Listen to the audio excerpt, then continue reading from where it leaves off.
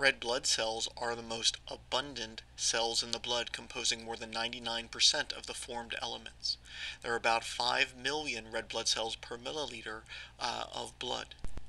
Red blood cells are specialized cells. They are small, about 8 microns across, and flexible, allowing them to squeeze through narrow capillaries.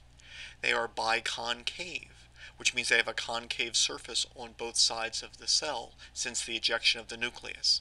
This provides more surface area for the diffusion of uh, the gases oxygen and carbon dioxide.